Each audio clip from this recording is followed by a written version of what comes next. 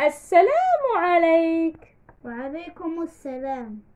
مرحبا بك. ما اسمك؟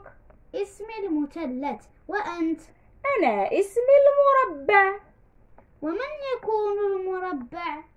المربع شكل هندسي.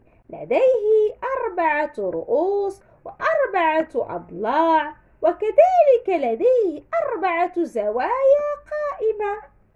وأنت أيها المثلث؟ ما معنى المثلث؟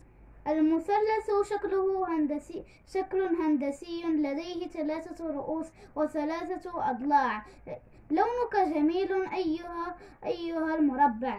شكرا. جزيلا. إنه اللون الأخضر. وأنت كذلك لونك جميل أيها المثلث. إنه اللون الوردي. إنه لون جميل. تشرفت بمعرفتك. وأنا أيضا. في الحلقة القادمة سنحضر الأشكال الهندسية الأخرى لنلعب جميعا.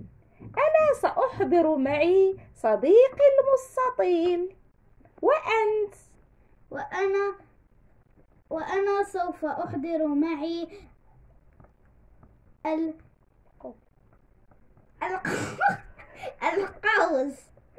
القرص. نعم أنا أعرفه.